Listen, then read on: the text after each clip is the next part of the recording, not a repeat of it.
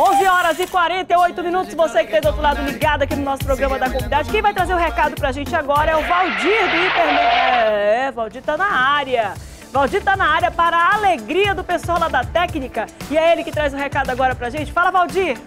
Alô, Márcia! Estamos de volta para trazer mais clientes que já compraram e aprovaram o Hipermeno.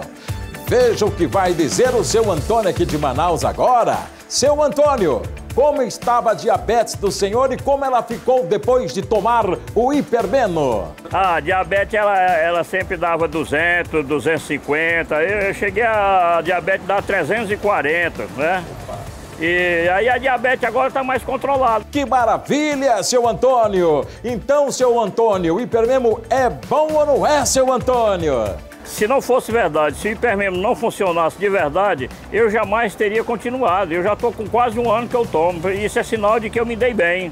E enquanto eu estiver fazendo efeito, eu vou continuar tomando hipermemo. Vale a pena comprar. Compre agora o seu hipermeno na promoção. Dois frascos por 100 reais. E pode dividir em duas vezes no cartão de crédito. Um hipermeno é para o seu pai e o outro para sua mãe. Tá chegando o Dia das Mães, tá esperando o quê? Ligue agora! 99430 4646 99430 4646 Mande um WhatsApp, faça o seu pedido ou corra para a loja. Floriano Peixoto 215 no centro de Manaus. Muito obrigada, Valdir. E olha só o assunto que a gente vai trazer para você agora. O desemprego do Brasil ainda continua em alta. Isso, além, é claro, de causar problemas nas finanças do trabalhador, ainda tem refletido na saúde física e emocional dos empregados. Uma pesquisa mostrou que 56% da população estão nessas condições. É o que a gente acompanha agora na reportagem de Priscila Gama. Pelo menos 246 mil pessoas estão desempregadas hoje no Amazonas, segundo o IBGE. Kevin faz parte desta estatística. Ela trabalhava na zona rural de Presidente Figueiredo. A jovem de 21 anos decidiu vir para Manaus em busca de emprego e assim conseguir pagar os estudos.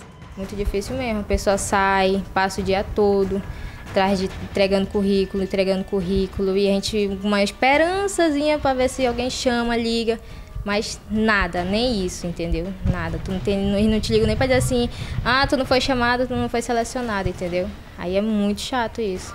Todos os dias a rotina dela tem sido a mesma: sair de casa cedo e distribuir currículo pela cidade. O que Kevin faz, muita gente tem feito de acordo com esta lojista, as demissões têm sido comum nos últimos anos.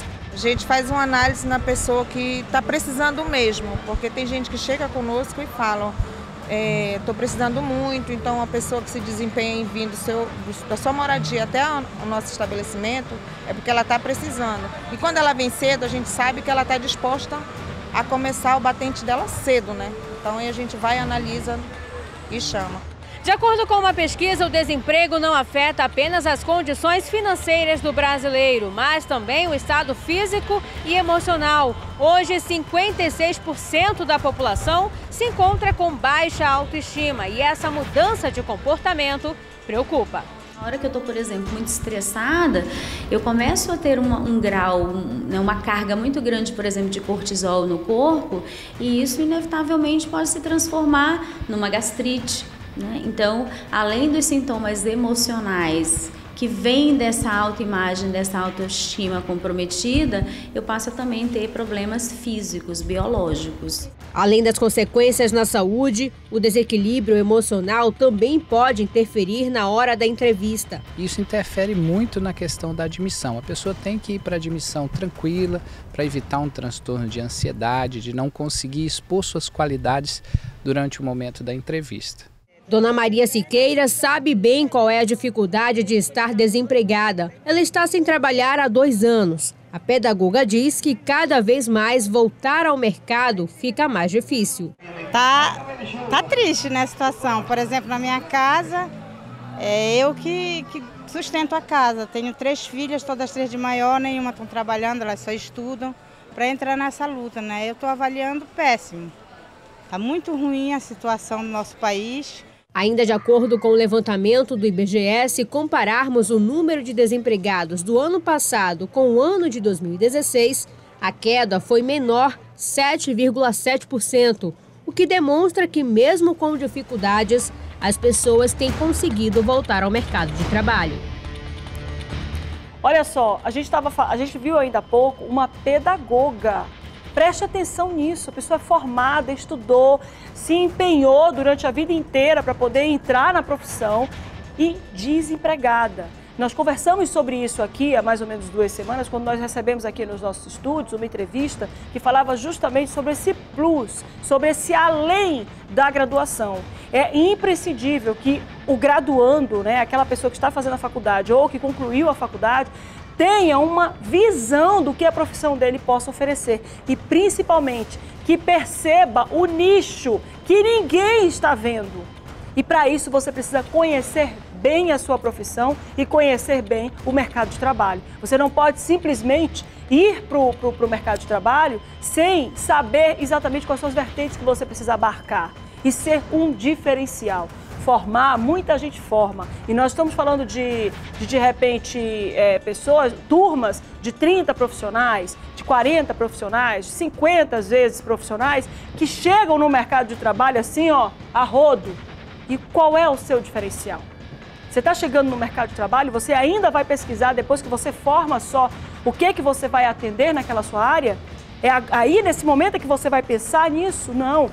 Tem gente muito preparada, e isso eu falo inclusive de educação de fora do, do, do, nosso país, educação de fora do Brasil, talvez seja essa uma das grandes falhas que nós é, vemos na nossa educação pública e às vezes até na educação privada. Como um pai percebe as habilidades do filho, percebe os dons dos filhos e começa já desde cedo a trabalhar aquilo, a motivar, a incentivar o desenvolvimento daquelas habilidades e daqueles dons, para que ele seja um adulto com uma profissão bem-sucedido, e eu não estou falando de dinheiro, o bem-sucedido não é aquele que tem dinheiro. O bem-sucedido é aquela pessoa que consegue se desenrolar no mercado de trabalho, que colabora, que treina outras pessoas, que trabalha outras pessoas. Esse é o bem-sucedido. 11 horas e 56 minutos, a gente está aqui. Põe para minha cabeça aqui da entrevista, meu amor. Coloque aqui, o diretor está aqui dizendo bem-sucedido. Eu posso falar, diretor? O bem-sucedido é aquele que tem dinheiro, sim. O dinheiro é uma consequência. O dinheiro é uma consequência do seu Aplausos. trabalho. Mas quando você trabalha, quando você trabalha no que você ama, quando você trabalha no que você gosta, você já é uma pessoa bem-sucedida, você está feliz o mundo não gira, ele capota, né? 11 horas e 56 minutos, vamos dar continuidade às nossas entrevistas. Hoje nós já recebemos aqui nos nossos estúdios a doutora Benigno, que estava conversando conosco sobre a candidatura dela ao quinto constitucional, que é a vaga de desembargador direcionado aos advogados. Nós estamos recebendo aqui agora nos nossos estúdios é, o professor Elcio do Carmo Ribeiro, que já está aqui advogado desde 89, é doutor em ciência política na França. Ah, Senhor, que sonho é esse que a gente tem, né? Ciência política na França. E leciona há mais de 23 anos em diversos cursos da graduação e também da pós-graduação. Para alunos de direito, economia, administração, jornalismo, contabilidade, serviço social e por aí vai. E também relações internacionais. E ele está hoje aqui conosco e vai conversar com a gente sobre o quinto constitucional. Você que está aí do outro lado acompanhando o nosso agora, a partir deste momento, já sabe que nós estamos recebendo vários candidatos Vamos receber todos para justamente levar a você que está aí do outro lado informações sobre esse quinto constitucional. O que, que é, que já foi explicado na primeira entrevista. E a gente vai receber todos os advogados aqui que estão concorrendo a essa vaga, né, obviamente. E eles vão explicar para a gente quais são os objetivos para poder melhorar o Poder Judiciário e tornar mais acessível aos advogados. Bom dia, bom dia ainda é. Bom dia, doutor Elcio, tudo bem? Bom dia, Márcia, bom dia aos telespectadores do Agora. Sempre um prazer vir aqui falar com você, você sempre desenvolta, ouvindo lá o Ivan. Aproveito para dar um abraço à minha querida amiga Patrícia, a esposa do Patrícia Ivan, que esteve com a gente durante um tempo. Durante muito tempo, é. né? Uma coincidência que a vida dá, mas a vida dá é. voltas, né? E o professor Elcio foi meu professor também de faculdade e ele hoje concorre a uma das vagas do quinto constitucional. É, a gente pega o seu currículo assim, olha aquilo tudo que o senhor já fez até hoje, né? Tanta coisa, já correu maratonas, inclusive. É faixa, é faixa preta ou faixa coral? É faixa, tem faixa coral no jiu-jitsu? Tem, tem. Qual é a sua faixa? Eu, eu sou um aprendiz Upper. constante, É um né? upper, 41 é um anos de jiu-jitsu. 41 então anos eu tô de jiu-jitsu. ainda. Aí você que está do outro lado, mas ele está concorrendo a vaga, ele faz tudo, faz. É. Inclusive Jeane também, né? Já correu 100 quilômetros, foi isso? Ah, eu e a Giane, que é patrocinadora do programa das Sim, Três da Três Elefantes, Elefantes. não só a Giane, como o Jorge, o esposo dela, nós, nós já treinamos mais de 100 quilômetros juntos, não tem a menor Nossa, dúvida. Tá aqui, ela está aqui tietando ele, Isso, filmando é. ele aqui, viu?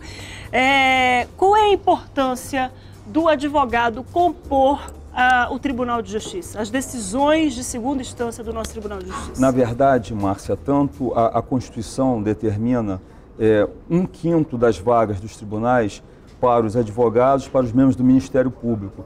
Então isso é interessante para que dê uma oxigenação. É uma outra visão daquele que advoga, daquele que presta consultoria, daquele que vê o dia a dia da advocacia. Ele vai entrar num tribunal, a mais alta corte eh, de julgamento do Estado do Amazonas, trazendo a visão daquela prática cotidiana. Eu acho que isso serve para uma renovação, serve para um novo pensamento, ajudar a formar uma, uma jurisprudência um, um pouco distinta. A gente, quando fala em jurisprudência, para você que está aí do outro lado, acompanhando o nosso programa da comunidade, nós temos o nosso poder, e eu já conversei isso várias vezes aqui com você, porque eu sempre acredito que o cidadão precisa ter essa informação. Nós temos o nosso poder legislativo que faz as, as leis, o nosso poder executivo que está administrando aí o nosso, nosso Estado, e o Estado que eu estou falando é como um todo, não estou falando do Estado do Amazonas, estou falando da nossa União, e nós temos o poder judiciário que é que dá movimento à legislação. E nesse movimento existem algumas ocorrências na nossa sociedade que a lei não atende como um todo. E é aí que é tão fundamental várias cabeças Sim. pensando e várias cabeças decidindo a respeito da vida daquelas É, pessoas, né? uma das características, para que o telespectador tenha uma ideia, uma das características da legislação, que é do direito, é a abstratividade. Então é normal que muitas vezes a lei, quando ela é confrontada com um caso concreto, ela, ela tenha lacunas. E é nisso que muitas vezes nós, tanto advogados como os magistrados, vamos atuar cobrindo essas lacunas. Como é que o senhor vai colaborar nisso tudo? O profissional Elcio Ribeiro, o advogado, o professor, o, aquela pessoa que sempre procurou se instruir, trabalhar o direito com tanta, com tanta afinidade, com tanto afinco. Pois é, é, na verdade, a, a- a minha proposta, né, é, eu, eu já, eu já entro representando um grupo de 73 professores, Márcia, que fizeram um manifesto apoiando o meu nome para essa disputa. A gente até brincava, é a- o magistério na magistratura. Então eu pretendo colaborar sempre levando somando aos nobres eh, juízes, aos nobres desembargadores que lá estão, um pouco de conhecimento, tentando colaborar com ouvi- ouvindo sempre a advocacia. Nós temos uma lei da advocacia 8.906 é sancionada pelo presidente Tamar Franco, que prevê algumas prerrogativas, tentando fazer com que essas prerrogativas sejam de fato cumpridas. É, além, claro, desse manifesto de todos os seus pares, né? E eu estou falando dos pares não só porque são advogados também, porque também tem inscrição na OAB e porque também são professores, é, que acabou impulsionando né, esse- essa decisão. É óbvio que isso já tinha no pensamento é, essa, essa, essa intenção, essa vontade de se candidatar a essa vaga. Porque a gente se candidata, a pessoa se candidata, claro, com, essa, com o impulso dos colegas, mas tem esse primeiro pensamento povoando lá a, a- a cabeça. Como é que é que o senhor pensa em colaborar e por que que levou o senhor a poder decidir por se candidatar a essa Sim, vaga? de fato, ah, o pensamento não é de hoje, mas eu faço parte de um grupo de professores que, em janeiro desse ano, resolveu que nós iríamos apoiar alguém. E esse nome recaiu, não, só são, não são apenas pessoas de direito, tem sociólogos, tem professores de filosofia, tem biólogos, tem pessoas que trabalham com a questão ambiental e resolveram apoiar o meu nome até por conta de uma formação ah, não apenas vinculada ao direito, eu também sou formado em ciências sociais e filosofia. E aí eu penso cada vez mais, Márcia, nunca parar os estudos. Eu acredito que o direito ele está em constante transformação, a gente tem que estar em constante leitura. E através disso, eu espero, junto com os pares que eu vou encontrar se eu tiver esse êxito lá no Tribunal de Justiça, colaborar cada vez mais para a aplicação da melhor justiça. O senhor falou agora há pouco sobre a legislação que garante algumas prerrogativas aos advogados e ainda hoje eu posso dizer isso porque precisei atuar no, num processo de uma grande amiga minha, um processo de, eh, de vara de família e eu senti alguma dificuldade nessa visita, né? Até porque a gente tem aqui um horário muito apertado, eu sempre tinha que ir no início da manhã ou logo depois do programa fora para poder tentar manter esse contato ali com, com o magistrado. E em algumas ocasiões eu cheguei lá, sim, apesar de todo o trabalho trabalho ali e, ah, ele tá, tá em reunião, ah, não chegou, marque a, gente amanhã, que amanhã ele vai estar tá aqui. E acabou que a, é, a, gente sentia essa dificuldade e até um pouco, claro, que a gente sabe que o, a, a, vara, as varas, o Tribunal de tem muito processo, é um volume enorme Sim. de processo, a gente sabe que tem essa dificuldade mesmo, mas como é que o senhor vai trabalhar para poder realmente fazer valer a legislação no que ela diz o seguinte, o advogado ele não tem que marcar hora, ele tem que chegar lá e tem que ser recebido, tem que ser atendido. Óbvio que nenhum juiz vai parar um, uma audiência para poder atender o advogado, mas ele estando na vara tem que atender. O senhor tem alguma tática, alguma forma de trabalhar isso para fazer valer realmente a legislação? Eu acredito que a luz do sol, Márcia, a transparência seja fundamental. Ah, a, o nosso Estatuto da Advocacia, tanto no artigo 6 como no artigo 7 ele trata de algumas prerrogativas que nós advogados temos para o exercício pleno da nossa profissão. Eu pretendo, caso os meus pares me honrem com essa indicação e eu seja escolhido posteriormente pelo tribunal e pelo governador, eu pretendo fazer valer de forma integral esses dois artigos, o sexto e o sétimo.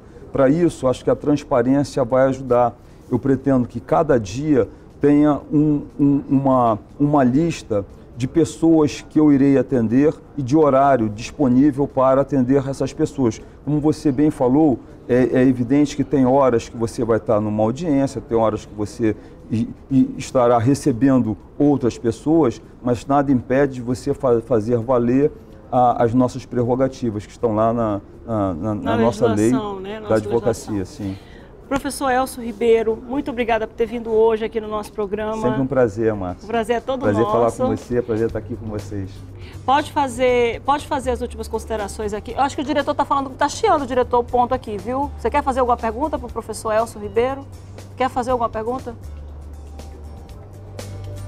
O diretor o diretor está querendo fazer pergunta aqui também, né? É bem a Patrícia que está mandando, mandando aqui Nossa, perguntas. Patrícia Teixeira, aqui, querida a Patrícia Teixeira, querida é. amiga, né? É, então vamos lá. O diretor disse que a gente ainda tem aqui um tempinho. É, como é que funciona esse lead diário com os advogados? O senhor é um, um, um advogado que tem ali todo um trabalho na magistratura, na, no magistério. Lida todos os dias com os formandos em direito, lida todos os dias com pessoas que o senhor está colocando no mercado de trabalho e preparando não só intelectualmente, mas também psicologicamente, porque eu me lembro das Sim. aulas e sempre tinha essa conversa. Como é que o senhor também vai trabalhar esse, os advogados nesse sentido, de colocar profissionais realmente experimentados, profissionais realmente capacitados e habilitados no mercado? Existe uma colaboração para o tribunal Sim, nesses Márcia, casos? veja bem, é, eu advogo desde 1989 e eu leciono já há quase 25 anos, é um bom tempo. Então, eu costumo dizer que eu também ensino a advogar. E muitas vezes nós vemos um hiato entre o que nós aprendemos na faculdade e a prática. Ah, o que eu pretendo, uma das, uma, um, uma das da, dos, dos posicionamentos que eu gostaria é, acima de tudo, mesmo estando no tribunal, se eu tiver essa honra, não parar de lecionar. Eu acredito que o contato cotidiano com quem está chegando é, serve para oxigenar, oxigenar as ideias. Como cantava o Belchior na voz de Regina, o novo sempre vem. Uhum. Então, essa ideia de você ter contato com quem está chegando, eu acho que é algo que serve para impulsionar a, a, a, tua, a tua visão e colaborar cada vez mais para que a justiça seja mais ampla possível. A gente sabe que o exame da OAB, é, ele, ele, filtra muito é, essa enxurrada de Márcio, profissionais. Márcia, hoje, de 100 alunos que é, concorrem a, a, a, ao exame da OAB, a média nacional é de que apenas 15 conseguem êxito ao final. Né? E aqui no Amazonas é um pouquinho menor ainda. Eu ontem estive conversando com dois amigos que têm cursinhos preparatórios eles me falavam que às vezes chega a 11% apenas o Nossa, número de é aprovados. É, difícil, né? é, é, a OAB está exigindo cada vez mais e os profissionais que se uh, prontificam a, a, se tornarem advogados, eles têm que estar cada vez mais preparados. Isso, de certa forma, é bom para a população, que vai ter pessoas de um esmerado preparo para lhes defender. Né? Para defender e viabilizar é. o Poder Judiciário. Né? A gente sabe que, apesar de, da população ter várias formas de acessar o Poder Judiciário por meio da Defensoria Pública, até a legislação do Juizado Especial que prevê que o próprio cidadão vá pessoalmente demandar os seus direitos é, em casos de até é, de 20 salários mínimos, mas a gente sabe que a presença do advogado ele é fundamental, é fundamental, a presença é fundamental para poder ver aquelas respostas é, todas trazidas ali para o cidadão que está precisando tanto do Poder Judiciário. Agora sim,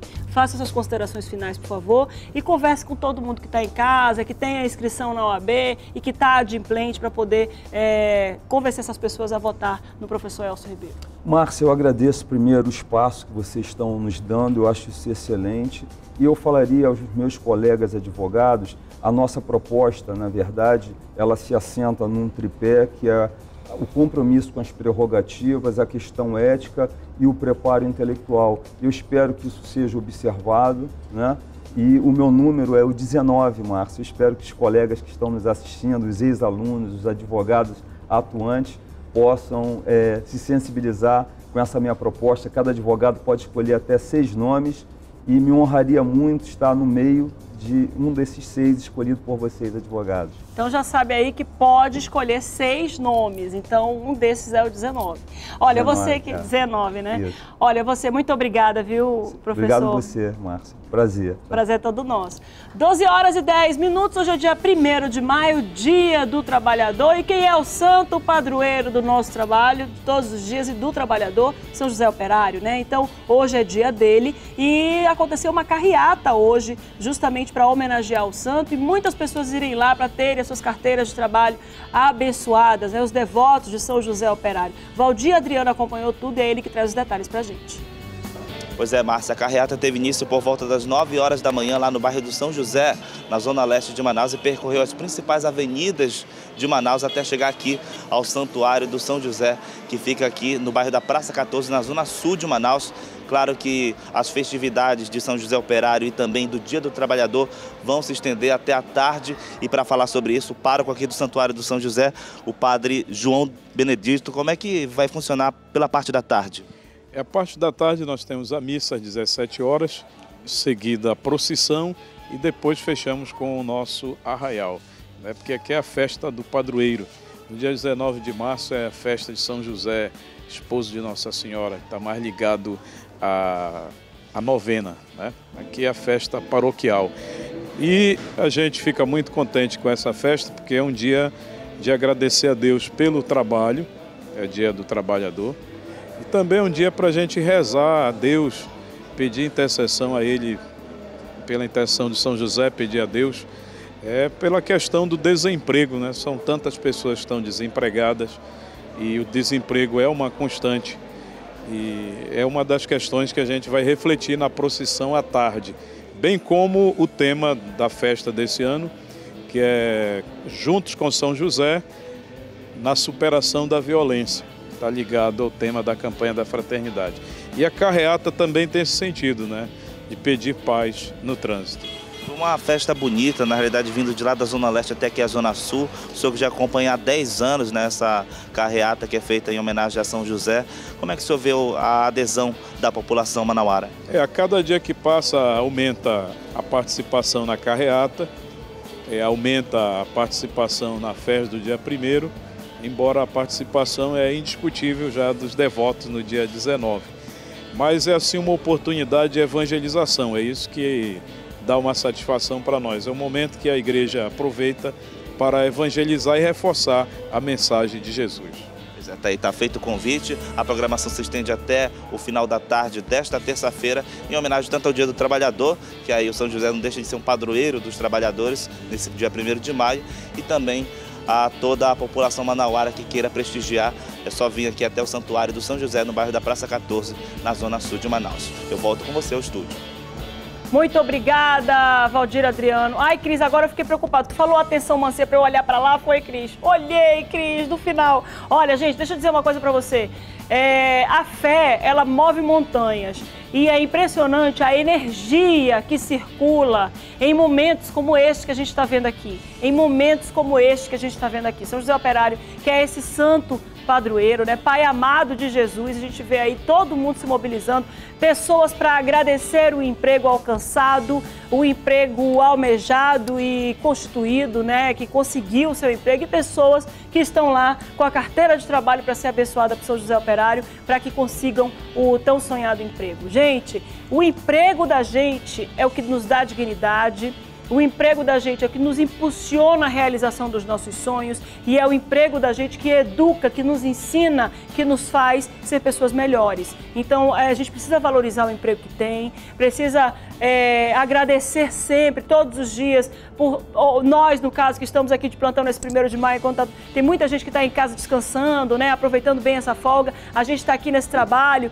nesse dia primeiro de maio, e a gente chega agradecendo, né? Porque a gente sabe que emprego não é fácil, que emprego não está é, caindo de árvore, muito pelo contrário, a gente vê que toda vez o Cine está é, tá lá com uma fila enorme na porta de gente que está pedindo emprego, procurando emprego. Eu tenho pessoas caras, amigos meus, é, comadres minhas que estão desempregadas e que estão pedindo emprego há muito tempo. Então a gente sabe o valor que é o emprego e a gente precisa agradecer sempre. E se tiver sem emprego, agradece a vida, agradece a saúde, agradece o ente querido que está do lado, colaborando nesse momento de dificuldade. Mas principalmente, não nos tornemos pessoas amargas, porque a amargura só traz coisa pior para a nossa vida. Então, sejamos sempre agradecidos, independente de que situação. A gente, quando dentro do coração da gente tem agradecimento, a gente vive melhor, vive muito melhor. 12 horas e 15 minutos, até a vida fica mais suave, né? Até a vida fica mais suave, mais tranquila. Vamos para o intervalo com essas imagens bonitas aí, daqui a pouco a gente está de volta.